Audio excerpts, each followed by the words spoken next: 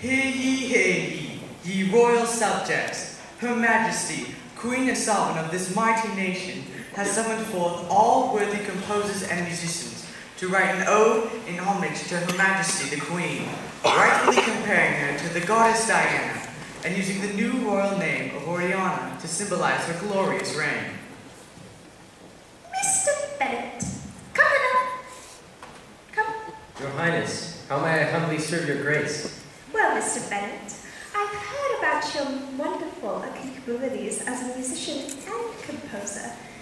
I'm a huge fan, and I want you to write me a little ditty and win this contest. But how am I to win with so many talented musicians? I don't want to disappoint. Oh, Mr. Bennet, don't you worry over this simple matter. I have the means necessary to ensure your victory. This is totally rigged. Here, take this. A quill? Yes, but but 'tis no ordinary quill, for with this instrument you will be able to compose the most wonderful music in all the land. And it be all about me. As you wish, Your Highness.